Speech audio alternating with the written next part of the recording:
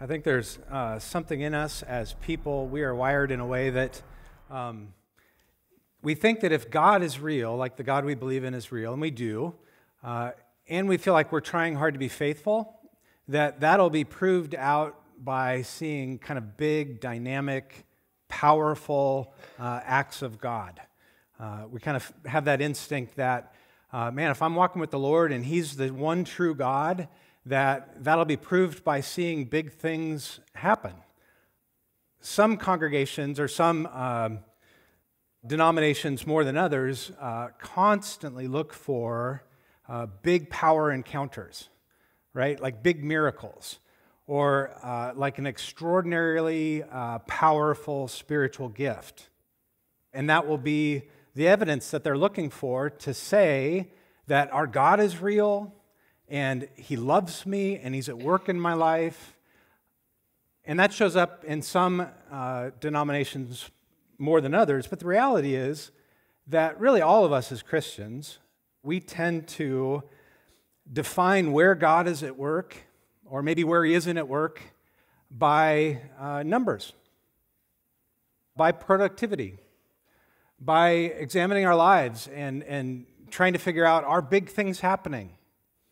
Are big personal dynamic things happening in my life or through my life? And we tend to kind of uh, measure if God is in this based on these displays of, of power, these big things. And oftentimes over the years, I've, I've just talked with so many people, and this, you know, I'm, I'm uh, human like this too. What that often leads to is our lives can feel small at times. And we can look around and we can say, man, there's not really any big dynamic thing happening around me or in me. And we can start to ask, you know, really, um, you know, really uh, damaging questions like, why, why isn't God with me? Why isn't He doing more in my life? Uh, am I not praying enough? Right? Uh, am I not exercising faith or the right kind of faith? Like, what, what am I not doing that is keeping God from doing the big things that prove that, that He's at work, He's real? And I think we tend to ask that question quite a bit too. If you've ever struggled with that, then the passage we're going to study uh, has a real encouragement for you this morning. It's the passage that Tom just read. It's Zechariah chapter 4. And the angel visits Zechariah again uh, through another vision. Uh, look, at, look at verse 1. It says, And the angel who talked with me came again and woke me like a man who is awakened out of his sleep. I mentioned a few weeks ago that these visions, uh, they are not stressing the idea that Zechariah is actually asleep. Uh, in fact, that phrase here, like a man awakened out of his sleep, uh, would actually not be needed. It wouldn't make sense if Zechariah was actually asleep. The idea, the main point is that God is specifically coming to Zechariah with a vision, like with a light, with clarity. And it's in a time where the people around Zechariah uh, are really living in darkness in those areas. Like they lack vision, they lack clarity, they lack trust in God. And so that's the idea behind these visions is that God is giving Zechariah clarity, vision, light. Now listen to the vision. This shows up in verses 2 and 3. And he said to me, uh, What do you see? I said, I see and behold a lampstand, all of gold, with a bowl on the top of it, and seven lamps on it, with seven lips on each of the lamps that are on the top of it. And there are two olive trees by it, one on the right of the bowl, and the other on its left. So, uh, a lampstand, uh, another word for that that many of you have heard is menorah. A lampstand is, is simply that it's, it's a gold stand on which you'd place a, a lamp, and then you'd place the bowl of oil that would supply the lamp. And this lampstand actually has seven lamps on it. So if you picture like a single lamp, but with seven branches off of it. Each one has a wick. And the point is, with the image here, the point is that's a lot of light. Like, this is a picture of the superlative light. Like, this is a very bright lampstand. And beside the lamp is an olive tree, actually, two of them, one on either side. And so, uh, if you're wondering what those mean, so is Zechariah. Uh, look at verse 4. And I said to the angel who talked with me, What are these, my Lord? And then the angel answers uh, Zechariah, and this is in verses 5 and 7. The angel who talked with me answered and said to me, Do you not know what these are? I said, No, my Lord. Then he said to me, This is the word of the Lord to Zerubbabel, not by might nor by power, but by my spirit, says the Lord of hosts. Who are you, O great mountain? Before Zerubbabel, you shall become a plain, and he shall bring forward the top stone amid shouts of grace, grace to it. Now, so far, we've kind of had fun with this. I've said, hey, are you wondering about that? So Zechariah, and then we read Zechariah ask, and then we read the angel answer. Here we did all of that, but when the angel answers, he doesn't really answer, does he? I mean, he does answer, but he doesn't, he doesn't explain the lampstand, the lamp, the oil yet. And, and it's, not, it's not really so much that he's rebuking Zechariah. He's like us. If there was a vision like this that God uh, gave to us, we would, we would be asking what Zechariah is asking like, okay, I want to get it right. This has to do with you. Can you explain this to me? So it's not so much that the angel is rebuking Zechariah uh, the way this reads is the angel is heightening the tension. There is, there is going to be an answer, and it's going to be a very important answer, but uh, he wants to go someplace first before giving the answer. It's kind of like if you were, if you were telling a friend uh, a great story, and, and the friend was like really getting into it, and the friend was like, like tried to jump to the conclusion, like, well, this happened then, right? And you're like, uh, actually, wait, I'll, I'll get to that, but let me continue. And you're doing that to heighten the tension, right? There are things that you want to say before you give the answer. And that's, that's really what happens here uh, with the angel. And he, he tells uh, Zechariah that, that this, this is actually addressed to uh, Zerubbabel. So, this is the second real historical figure that's shown up in these visions, the first being Joshua. And Joshua is the high priest at the time. Uh, Zerubbabel is actually the governor of the people at this time. And he's from the royal line of David. But he's the governor, he's the one that God tasked with uh, getting the people together and rebuilding the temple, finishing the work of rebuilding the temple. And remember the moment, like uh, if you were here for this, we've talked quite a bit about where the people are uh, in this moment, like in their psychology, in their theology, right? How they're thinking about God. When the temple was being rebuilt, they were released from Babylon to go back to the land, uh, Jerusalem and Judah. And when the temple started to be rebuilt, they had the foundation down. One of the prophets, Ezra, said that the young rejoiced and the old wept. Now, it's not hard to understand why the young would rejoice. All they'd known is slavery in Babylon. And so, hey, we're finally going back to Jerusalem. We've heard about Jerusalem. And so there was some sense in which they had more optimism. But the old, these are the ones, this is referring to the ones that actually knew of Solomon's temple. They knew the glory of Solomon's temple. No building like that on earth. And so they're looking at the beginning of the work of the rebuilding of the temple, and it looks like an abandoned parking lot compared to what they know Solomon's temple looked like.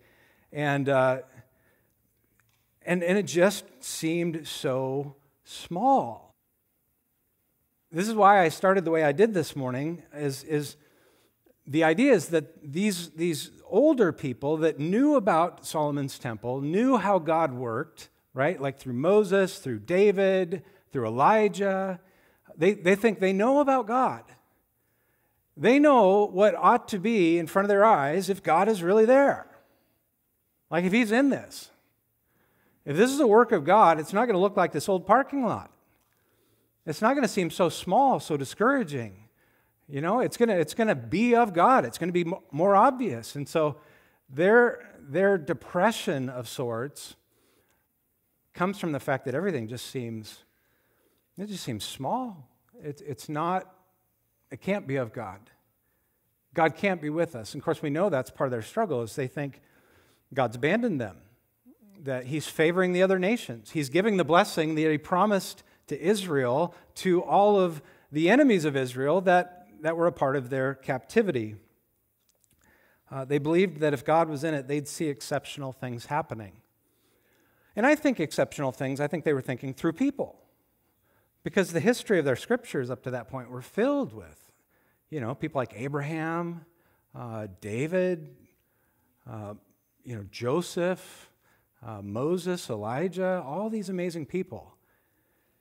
And they're looking at the fact that, that nothing amazing is happening through people, and it just all feels so small. This is why God gives them verse 6. Uh, look at that again with me. Then he said to me, This is the word of the Lord to Zerubbabel, not by might, nor by power, but by my spirit says the Lord of hosts.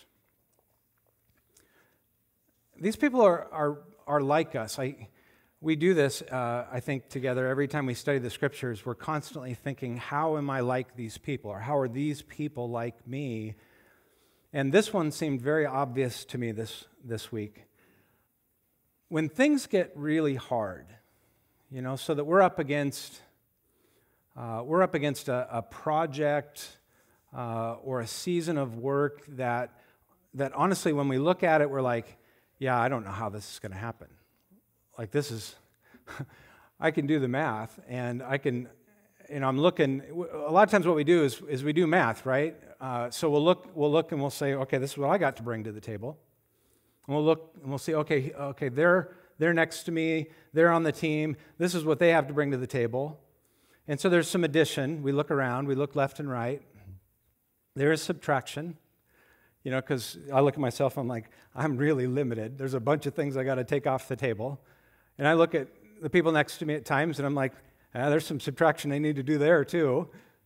Uh, and then we know that, that we as humans, right, we, a lot of times we don't know what we don't know, but there's a lot we don't know. That's all subtraction. Sometimes we don't get along. Uh, we don't work to, together well uh, as a community or as a team. There's just a lot of subtraction. But I think we get, we, we face a huge task, right? Like a, a huge project. And it could be, you know, it could be through our work, it could be uh, relational stuff. And, and I think we just kind of look left and right. We look horizontal. We kind of add things up, subtract, subtract things, and, uh, and a lot of times we just hang our heads throw up our hands. Like what's on paper here just, it seems so small. Take the building situation we're in. I, I want to call it a building project, okay, like the build it project that we're in. Uh, as Mark said last week, the downtown building is under contract. And so we moved all of our offices. And I did this, but I should have done this. We moved all of our offices you know me, directionally challenged. Um, all our ministries. We moved it all yesterday from there to here. And, and by the way, if you were a part of, raise your hand if you carried book boxes yesterday. Yeah, you can't. Yeah. Rewards in heaven is all I got to say to you people. Um, so we moved our office uh, and our ministries here, and uh, and into a facility that uh, is 18% smaller than the downtown facility. And when we started this project, we were about uh, 25% smaller than we are today. So we did, we did that yesterday, and I say we, but you know, you did that yesterday, a group of about 30. And so we're kind of at a place where we got to do it now. right? We got to do it now. Um, I don't know. Our fifth grade girls are like the kindest people in this congregation, but I don't know how long they're going to let me keep my, my desk in my office back in their Sunday school classroom. That's their classroom. So, well, we got to do it. We got to do it now. But talk about a lot of work.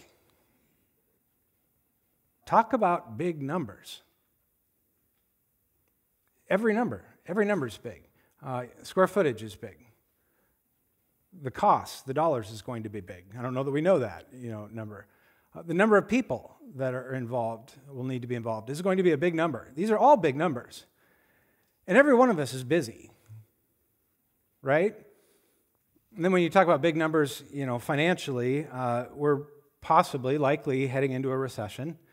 Uh, I know that everybody debates whether it's a hard landing or a soft landing, but the wheels are going to crash down on the runway, and it's going to be a tough year this year for many of us financially. And that's just the way it is. And, and then you look at, at the work of, because part of the work, right, is, is thinking about how do we keep 600 to 700 people absolutely in love with each other, unified, feeling important, feeling invited in, feeling agreement on everything. Wow. And and you know, if if the leadership, if if if if we did that, if we looked left and right and we added things up and we looked at, oh, these are this is on the building committee, right? This is the guys on the building committee, the women on the building committee. Uh, little subtraction to do there. This is the pastoral team. A little bit more subtraction to do there, right? You know, and this is our resources, right? This is what this is what was pledged the first round, and this is maybe our debt capacity, and add these numbers up, and they're way off from what this is going to cost. And, and you can do all of that, and, and then you can, the temptation is you'll feel discouraged. You'll hang your head, you'll throw your hands up and, and say, man, just on paper here, this just, whew. If this is going to take the best of humanity, I hope we're all having a good day for like the next 365 days because So, the equation, this is why I say we're like them, right? Like big projects, big tasks, big, big things out there. The equation, if what we're looking at is simply the human equation, the best that humanity collectively can do together, it is very, very small. It's a small day.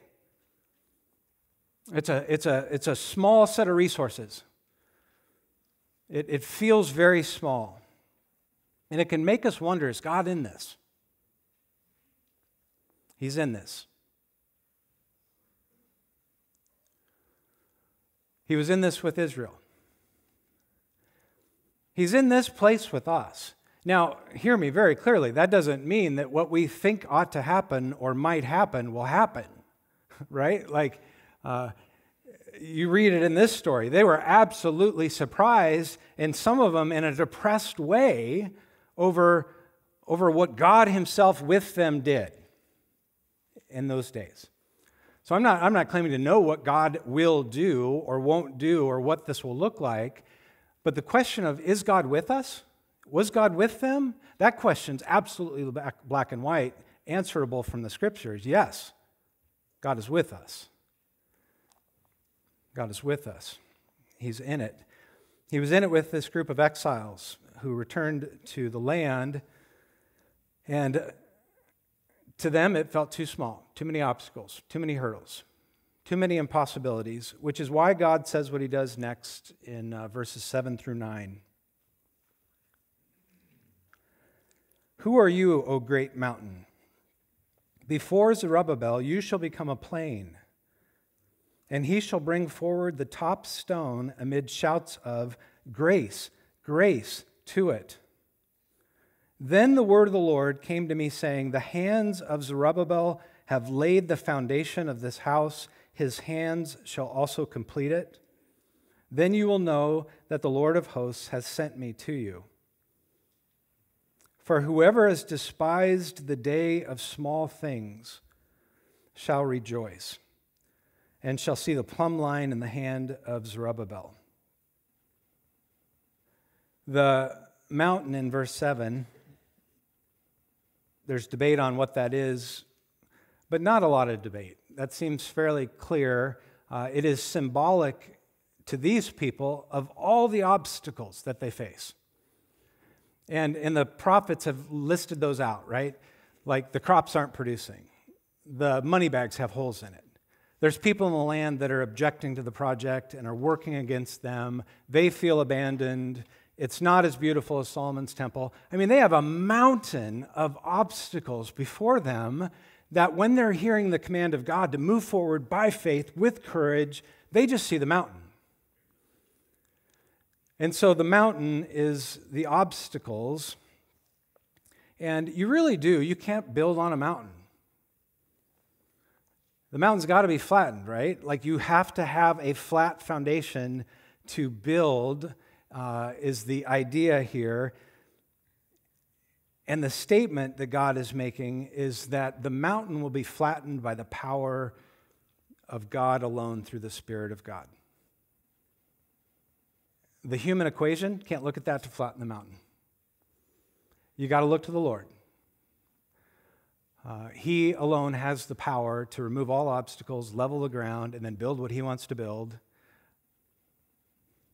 When it says uh, and he shall bring forward the top stone amid shouts of grace, grace to it. I think, I, I believe, this is my best study, that that is God shouting grace, grace to it, as the top stone is being placed. Now, this is, this is a top stone. It's not the foundational cornerstone. There is a foundational cornerstone, and it's the it's usually the first stone that sets the whole project uh, in place. Its measurements, everything depends on that being placed correctly. But the top stone, oftentimes we'll call it a capstone, that's the last stone you place. And that is the stone that it's a real thing, but it absolutely signifies that everything that God promised to do, all the work that God promised that he would accomplish. When, when that measuring tape for that last stone is in Zerubbabel's hands and that last stone is set down into its place, everybody's going to know that what God said through these prophets was absolutely true. And, and even if they don't see it as true when it was said, right? Even if, even if as the word of God is being spoke uh, to them, as the vision is being cast, they're discouraged because everything seems small. So, so verse 10 is, is truly God speaking to the discouraged people of this day, saying, There's going to be a day you're going to rejoice. What you're discouraged about, it's going to be gone. Uh, look at verse 10 again. I love this verse. For whoever has despised the day of small things shall rejoice, and shall see the plumb line in the hand of Zerubbabel. For whoever has despised the day of small things. Isn't that a great phrase? I take a lot of encouragement, I really do, uh, from the people in the scriptures, the Old Testament uh, characters, the, the New Testament characters, like the disciples, uh, even these people in our text, because they were constantly needing God to redefine what is actually big and what is actually small. What is actually of God and, and what is, what is actually, uh, you know, as they would think, well, that's too small and not dynamic enough. It can't be of God. And it's like over and over throughout all of the scriptures, God is having to step in and say, no, your measurements and your thinking are completely wrong. Like you think about the disciples with Jesus, they got to live with God for three years. And, and you think about how they leaned, right? Big proved God's work. Like the bigger the crowd, uh, man, Jesus, look, we got these huge crowds following us. Jesus is like, yeah, we're going to go on. We're going to leave them. Wait, this is what we do, right? This is what people in the world do. We want a big crowd. You got it. Why would you leave? You know, the, the titles that people carried were big. So that when Jesus stopped to, to talk with a Samaritan woman on her fifth marriage, that was too small of a person. Jesus, come on, we got to go. Right? A paralytic. And, and Jesus is constantly telling the disciples, no, big does not prove that God is in it. Like your ideas of how the kingdom of God on earth will prove itself are not just off, they're completely backwards. They're, they're wrong. And I like that because, again, I'm going to I'm going to linger on this. We are so that way at times. We do not like the day of small things. If we're in the day of small things, we will do numerous things to try to make it feel like a big day. Just as I've been a pastor for about 22 years, and I have seen over and over again people hop from one church to the next, hoping to see something happen, something big happen through them in the next body so that they can feel like, okay, God is real and He does love me and He is accomplishing big, powerful things through me. And then when it doesn't necessarily happen in the next place, they'll go to the next place. By the way, pastors are not immune from that. Uh, I, have seen a number of pastors um, conclude the day as a small day in a small place, and these are small people, and and so, man, we got to spice things up. We got to grow this thing, right? And, and try some, some gimmicky things, uh, some fancy techniques to ministry, uh, turn the worship team into a rock band, because everybody likes rock concerts. Or sometimes when, when that stuff doesn't work, you'll see pastors hop churches quite a bit. And usually the hope is I got to find something bigger. I got to find something more dynamic that, that will show me God's in this more. But this, it's everybody's issue. We, we all struggle with this. Many fight the day of small things by seeking important roles or, you know, bigger titles or greater incomes or, you know, more respect, more influence in a community. Many try to muster up, you know, what they view as kind of the most dynamic spiritual gifts or spiritual experiences because they hope that will prove that, that God is at work in them and through them. I think it's, I think it's at the root of why, uh, and this isn't new to our day, this was in Paul's day, but why we tend to like to follow rock star national pastors and preachers and, and personalities. I think when our life starts to feel small, we think, oh man, I'm following somebody with a big, powerful ministry, right? A big personality. And, and, and somehow we think that's going to make us feel bigger. God is more at work. And yeah, we don't like, we don't like small things. We don't like uh, small days, small people. Uh, we have a really hard time seeing God in that. We think God's work is proved by the big things. Just if I could summarize what this vision is saying, it is precisely showing the falsity of that idea. Uh, God is with these people.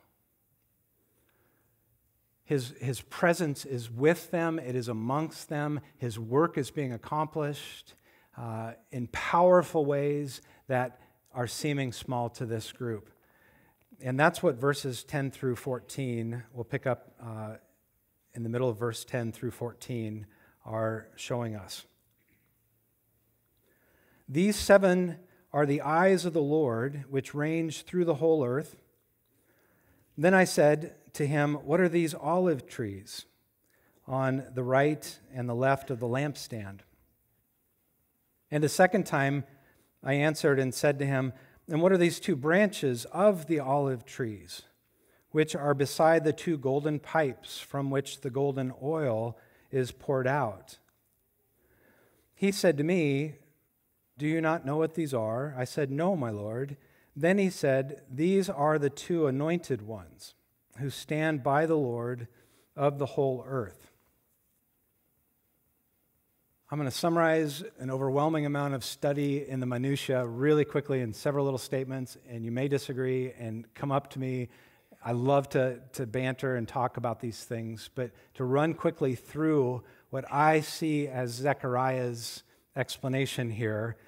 Uh, clearly, the seven eyes uh, of the Lord are stressing the omniscience and the omnipotence of God that shows up in other places in the scriptures.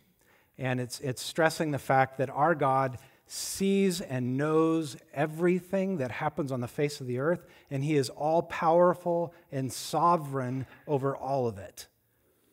So that's that statement. The lamp, like the lampstand and the lamp, that is God's presence and His power amongst His people. So that's that's the lamp stand and the lamp.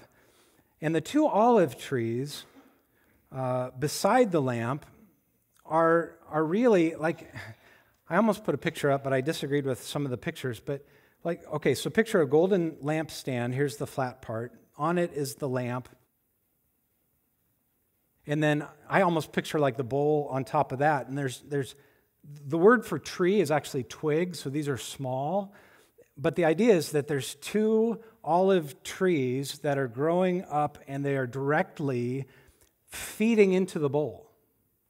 And so the picture here of the, the two olive trees is that if the lamp and the stand, right, are, are the presence of God, the power of God, the light of God in the world, then the, the fact that these two trees have grown up and are supplying the bowl that whole thing says it'll never end. You know, you ever light a candle and a breeze blows through or the candle burns out and all of a sudden, oh, I guess I'm done with that candle. That'll never end. This, this light will never end because it has two uh, olive trees that are perpetually, eternally feeding the, the bowl that feeds the lamp. So, this whole picture symbolizes how the power of God, the presence of God, the, the light of God uh, in the world with his people is something that will never, ever end. And it's there whether it feels small to us or not, but it's always there and it'll absolutely never end. But how? This is fascinating. Not what I'm going to say, but what the scripture says.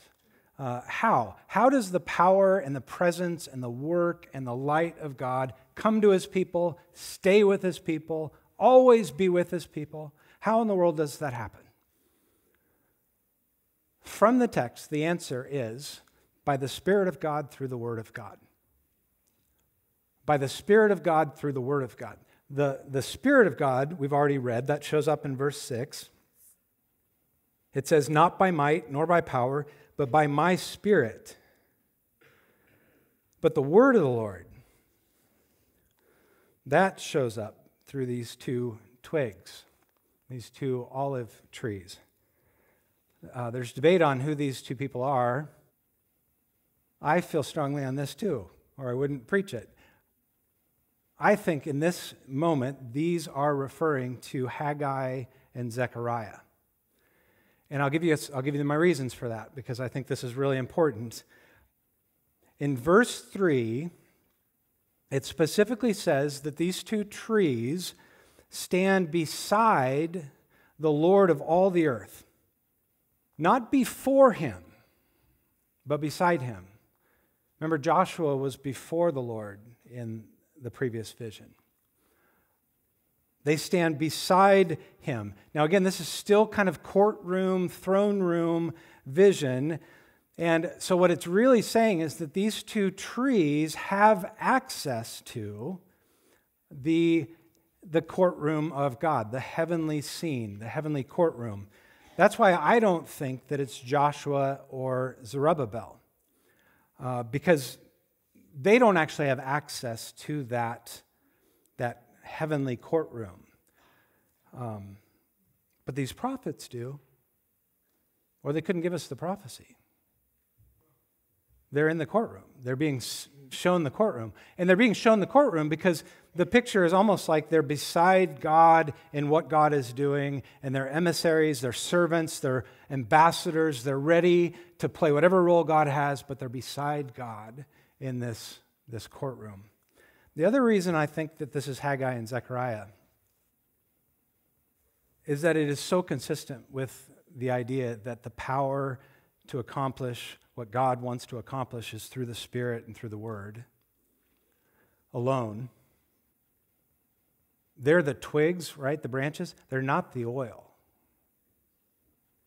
In fact, the word for oil here is, is the Hebrew word yahir, and it means new oil.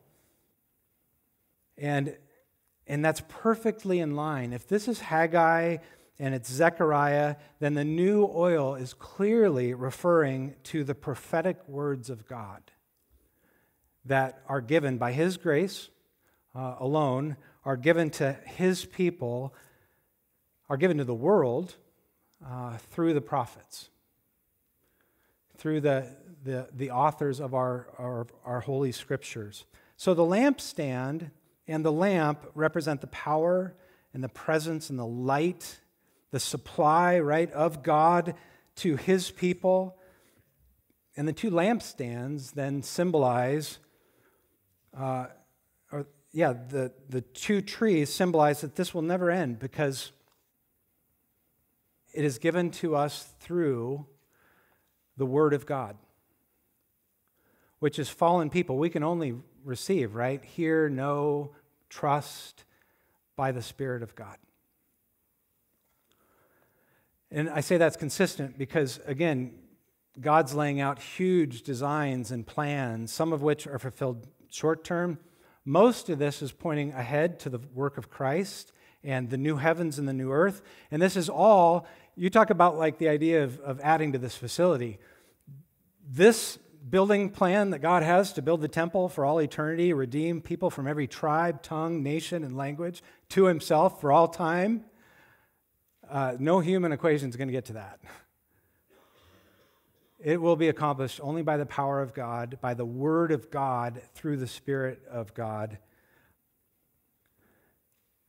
So Zerubbabel is important, Joshua is important. It's not their power that's going to finish this project, it's the Word of God. But even the Word of God can seem small to God's people. small enough to miss, small enough to not like. The, the people that, that God spoke to through Zechariah eventually concluded uh, we don't like that. Uh, we don't see that as true. That doesn't feel like our God. Uh, we don't like what, what you're saying. We don't like uh, the role you're playing. And so they killed him. They killed Zechariah. We don't have much on that, but Jesus uh, comes back and he makes one. He makes a statement in uh, Matthew 23, uh, starting in verse 34. He says, "Therefore I send you prophets and wise men and scribes, some of whom you will kill and crucify." From the blood of innocent Abel to the blood of Zechariah, the son of Berechiah, whom you murdered between the sanctuary and the altar.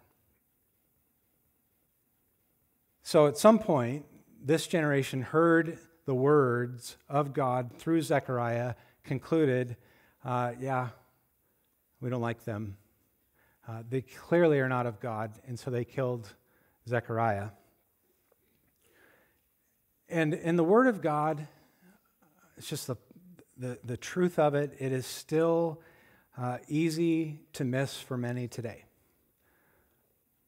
it, it still today feels uh, small, uh, like God isn't in it. Isn't that ironic? That the Word of God can feel to us like God isn't in it, but it still does today. Uh, it still feels small. Uh, like when the Word of God, and when I say the Word of God, I mean the Word of God, the one that was in the beginning, created all things, is God, and then the Word of God that uh, at the beginning of the Gospel says, uh, in love for us, actually came and took on flesh and became one of us. That word of God, talk about a small day, a small moment, right? A small person, a small place. Uh, what's smaller than a fertilized human embryo? It's four times smaller than a mustard seed. And to an unmarried woman from a nowhere town, that's pretty small stuff. And we might think, well, okay, but that's the Word of God. And yeah, he took on flesh and, and was born to Mary and Joseph, and that's amazing, but, but he grew up into a man, right? He grew up and, and uh, you know, he, he lived a, a, perfectly righteous life and he spoke the words of God and he no doubt carried himself well. I mean, surely then it was obvious, right? It was big. It was obvious that God's in this, God's in this man, God speaks through this man. This is what God is doing. Surely it was obvious because it was big at that point. Here in three weeks, we're going to, uh, not just we, but pretty much every Christian in America, uh, will celebrate Palm Sunday. And Palm Sunday is a very interesting day. That's the day that Jesus rode into Jerusalem, right? The king returns to his city, rides in on a donkey, and talk about expectations of a big day. That's Palm Sunday. They're waving these palm branches saying, Hosanna, right? Blessed is the one who comes in the name of the Lord. They were waiting in that moment for Jesus to get off the donkey, kick Rome in the rear, restore everything to the glories of David and Solomon's day. Wait a second. He's, he's arrested? Now, he, he's, he's brought up on charges before the Jewish leaders? he's convicted on those charges. He's handed over to Rome. Like the, the Jewish leaders gave him into the authority of Rome. They have another like false charge, like court. He's convicted, he's condemned, he's crucified on a tree, which, according to both Roman custom and uh, Israel custom, is proof that he's a cursed man. the same crowds uh, that were chanting Hosanna, by the end of the Gospels, are chanting crucify, crucify, crucify. Get rid of this man. He, that can't be God. It's too bloody, it's too messy, it's too human, too small. What's powerful about that? Well, we're going to celebrate together what was powerful about that.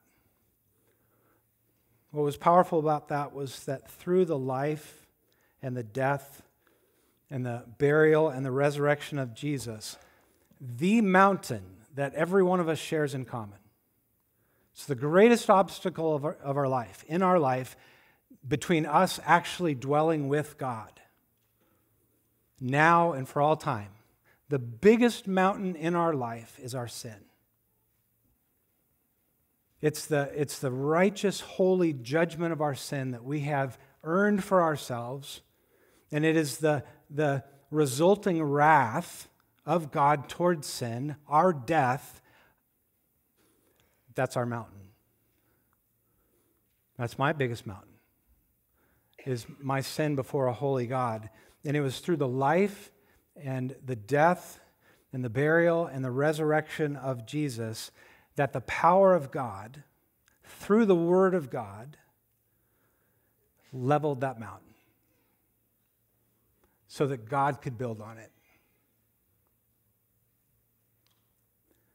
So that anyone in here, if you get to a place where you humble yourself before the Lord, and you stop looking to your life and your accomplishments to try to make you right with God, but you look to the person and the work of Jesus, the leveler of the mountain, your faith in Jesus, God says, I make you a stone in my house that I'm building. Now, the foundation of that, we said capstone earlier, but Jesus is both the foundational stone and the capstone.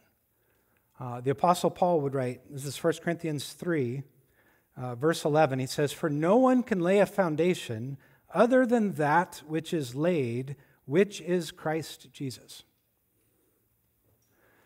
So, the only way that we become a part of the house of God, right, the household of God, is through the finished work of Jesus. He's the foundation. There's no other way to be a part of the family of God.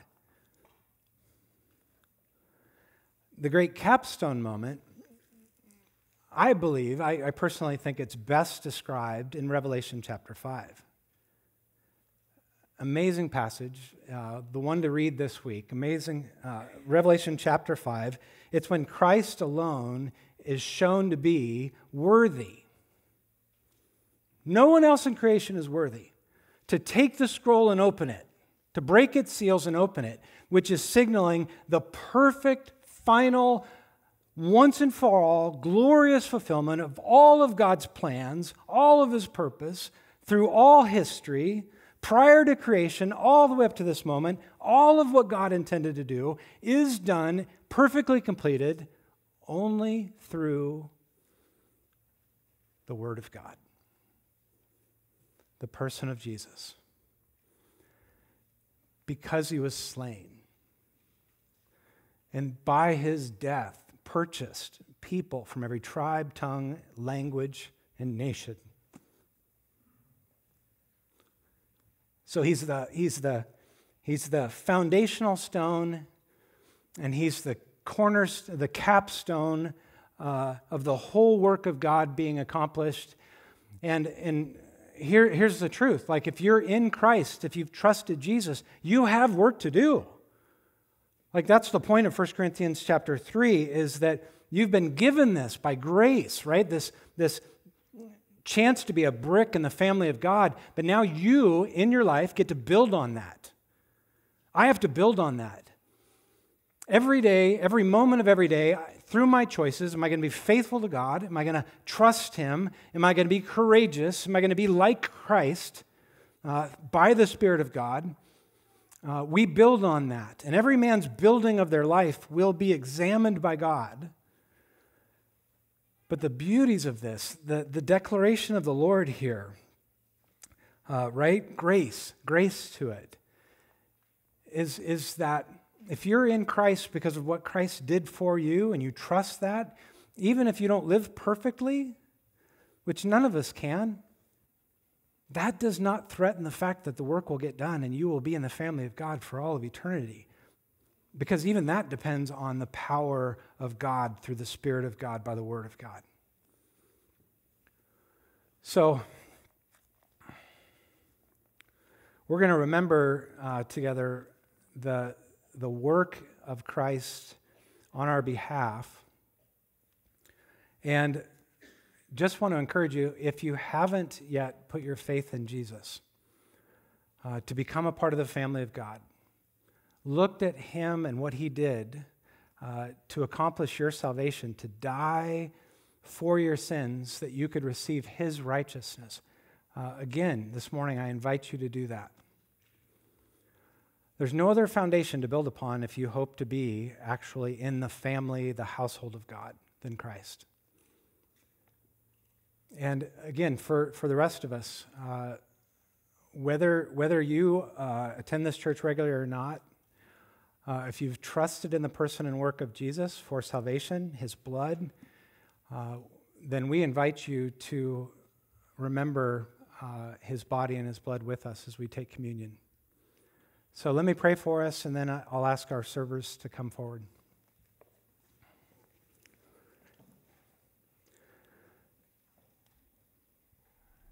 Father, this is just this is too great for our limited minds to fully take in, but what we are able to take in just makes us want to worship you.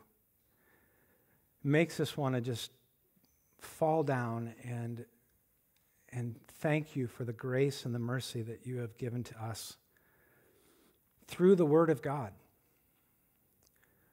And Father, thank you for the Word of God through Haggai, Zechariah, all the prophets, all the authors of Scripture. Thank you that we can go to your word by your Spirit and enjoy your presence. And Jesus, now as we move to this uh, ordinance, this sacrament that you have given to us, help us to focus our minds on how you lived your life in the body in perfect righteousness and holiness, uh, even unto offering your body up to die. And help us to focus on your shed blood, your very life that was given that we might have forgiveness of sins. And we worship you and we pray in, in your name, Jesus. Amen.